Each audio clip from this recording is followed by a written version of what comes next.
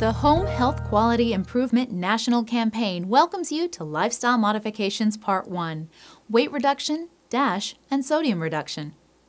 This video is the first of a two part series of videos for clinicians who want to help their patients reduce their risk for a heart attack and a stroke by promoting lifestyle modification. There are additional videos in the Cardiovascular Health series that are designed to be shared with your patients as supplemental education, and others are intended as refreshers for clinicians on evidence based practices. In this clinician video, we will present information on the lifestyle modifications of weight reduction, the DASH eating plan, and sodium reduction. As a clinician, you know that cardiovascular disease is the most prevalent disease and leading cause of death among adults over 18 in our country. Alarming numbers of people are diagnosed with cardiovascular disease each year, including younger populations. The American Heart Association has clearly identified multiple risk factors for cardiovascular disease, many of which can be reduced or eliminated with lifestyle modifications. How many of your patients have one or more of these risk factors? How can you help them with lifestyle modifications to reduce their risk factors? In this video, we will provide some evidence-based strategies for you to use with your patients who have one or more risk factors for cardiovascular disease. Let's start by looking at the cardiovascular risk factors of high blood pressure, obesity, and overweight. According to multiple resources, these specific risk factors can be reduced or eliminated by choosing a healthy lifestyle. American Heart Association, Centers for Disease Control and Prevention, and Joint National Committee are a few of the organizations that recommend lifestyle changes such as eating healthy, maintaining a healthy weight, and moving more as strategies to reduce the risk factors of high blood pressure, obesity, and overweight. Weight reduction.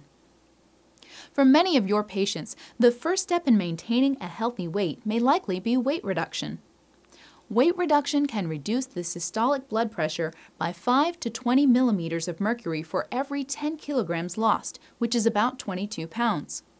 This modification can provide a significant improvement, but it will take time to lose over 20 pounds. It is important to implement additional lifestyle modifications in conjunction with this effort to allow the time for the weight loss to happen. Dash. The DASH food plan is a great way to shed the extra pounds and reduce blood pressure since it includes healthy foods that are lower in sodium, calories, and fats. DASH stands for Dietary Approaches to Stop Hypertension. The DASH eating plan is good for most people since it promotes healthy eating. The focus of the DASH eating plan is to include foods that are rich in fruits, vegetables, fat-free or low-fat milk and milk products, whole grains, fish, poultry, beans, seeds, and nuts.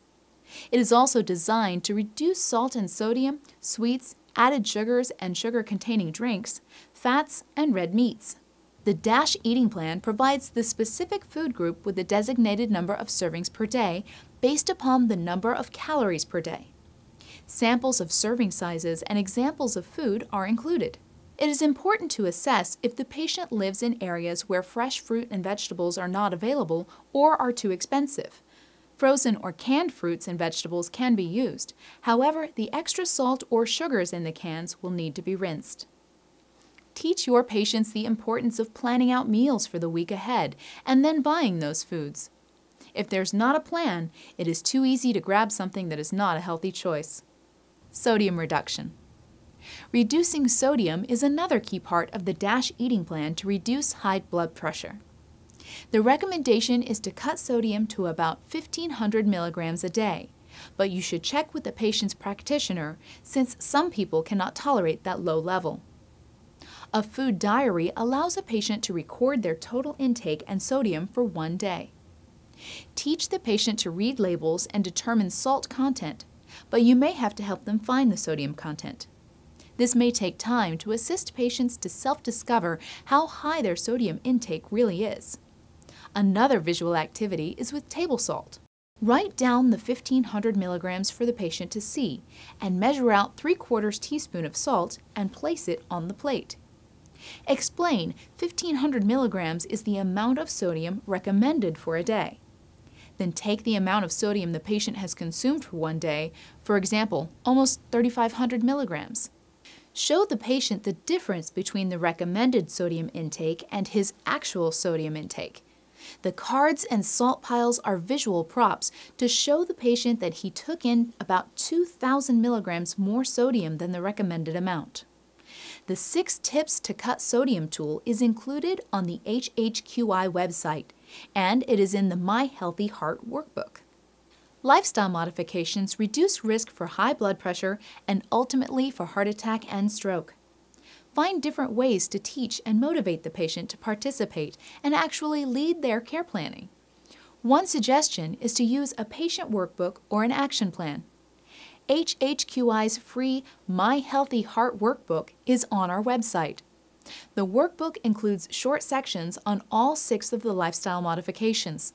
Also watch the Lifestyle Modifications Part 2, Physical Activity, Alcohol Moderation, and Smoking Cessation for information related to three additional lifestyle modifications. More information on lifestyle management is available in the HHQI's free Fundamental Focus Blood Pressure Control and Smoking Cessation Best Practice Intervention Package located on HHQI's website. There are additional cardiovascular clinician and patient videos on this website. We hope that you were able to brush up on the evidence-based strategies that can assist your patients in improving their cardiovascular health.